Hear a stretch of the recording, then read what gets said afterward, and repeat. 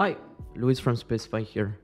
Today I'm going to show you how you can synchronize your design tokens and assets with Specify and Style Dictionary on GitHub. So we will we are going to pull our design data from Specify to GitHub, and then we will use Style Dictionary in a GitHub action to transform our design tokens every time they get updated. So all of this process just takes a couple of minutes actually. So first, uh, here is a working uh, GitHub repository that you can take as an example. So I'm going to fork it on my example GitHub account. And this GitHub repository uh, already contains a GitHub action that will automatically run style dictionary. And this GitHub action in, is in this uh, folder here. So once this is done, we have to do two things. The first thing is to enable workflows on our repository so that this GitHub action will be able to run.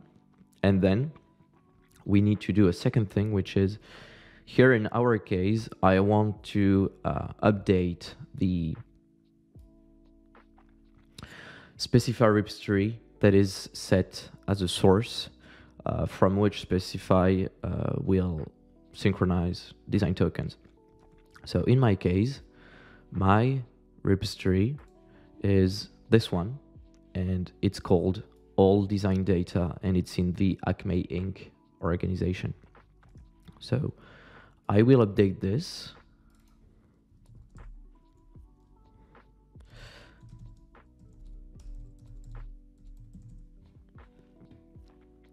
And basically what this specify repository does is it takes the following design tokens types from my repository and it will transform them so that they are uh, compatible with Style Dictionary and then Style Dictionary will take those generated design tokens to generate them from other platforms.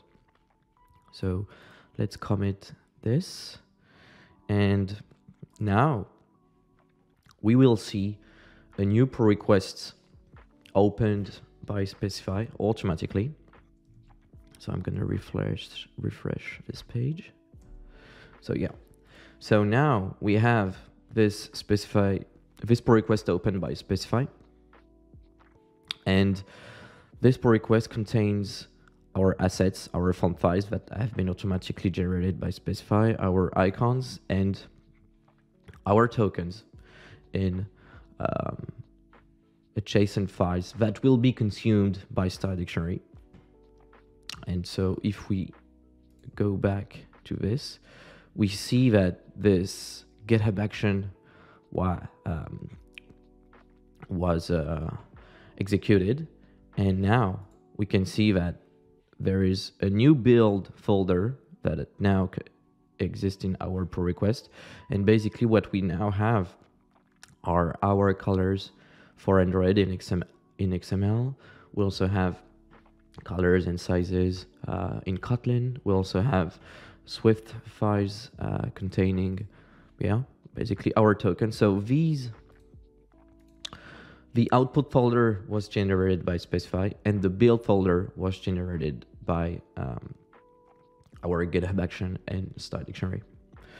So yeah, this is it. And now that you have this, Obviously, you can choose to merge your pull request, but maybe if you don't want to have the following output generated by Style Dictionary, you have to update the um, Style Dictionary config that takes all of our JSON files in our output folder generated by specify and basically yeah update this part so that you have tokens generated uh, by Style Dictionary that will match your company standards.